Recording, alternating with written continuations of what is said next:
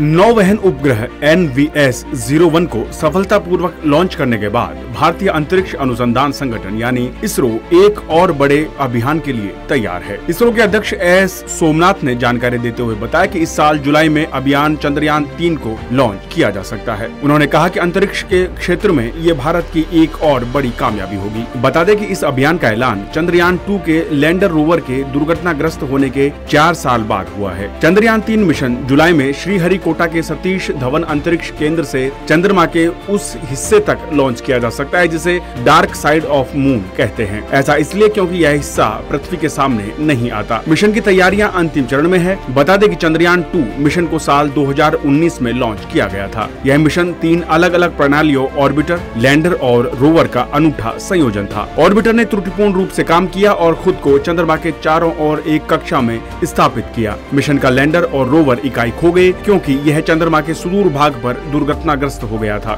जिसके कारण वह अभियान असफल रहा था लेकिन चार साल बाद एक बार फिर इसरो चांद पर तिरंगा फहराने के लिए तैयार है